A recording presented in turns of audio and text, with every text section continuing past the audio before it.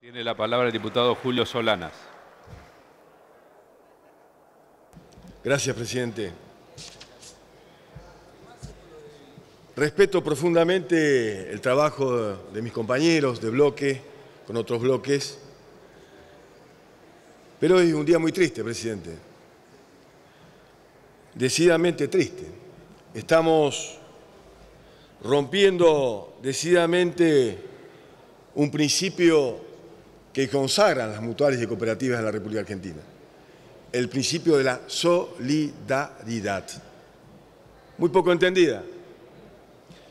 La mayoría, lo dijo Granidete recién, se plantea de las cuevas que existen, pero la mayoría de las mutuales y cooperativas, presidente, trabajan en función de la solidaridad con el vecino, con el copoblano refrendan un principio absolutamente federal, permanentemente.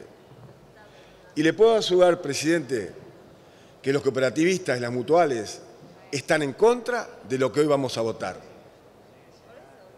Hablamos del mal menor. La verdad que me molesta hablar del mal menor, porque creo que hablar del mal menor es hablar de la mediocridad de la política. No aspiro al mal menor. Por ahí cuando se dice el mal menor, Pienso, ¿será que en vez de comer siete días, vamos, los, humildes de la patria van a comer cuatro? ¿Será que en vez de atender cuatro gurises en el hospital público atenderemos dos y al otro le irá mal? ¿Cuál es el mal menor que aquí se ha planteado?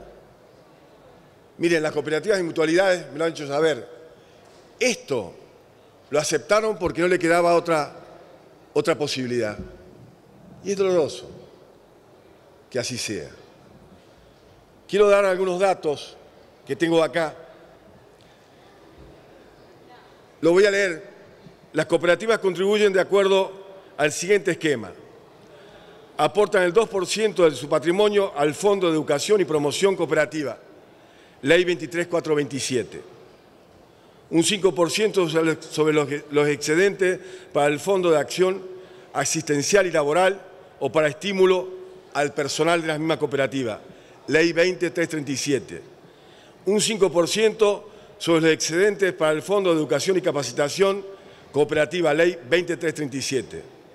Por su parte, las mutuales realizan aporte al, INAES. En virtud de ello, actualmente las cooperativas y mutuales realizan aporte por una suma cercana a los 1.500 millones de pesos. Por eso nos opusimos el bloque nuestro el año pasado y se eliminó el artículo. No se pudo esta vez. Y yo no comparto el mal menor, presidente. Usted no me escucha, pero no comparto el mal menor. Nos estamos acostumbrando al mal menor. Quiero reivindicar la tarea de las mutuales y cooperativas. Es injusto este nuevo impuesto que le estamos imponiendo.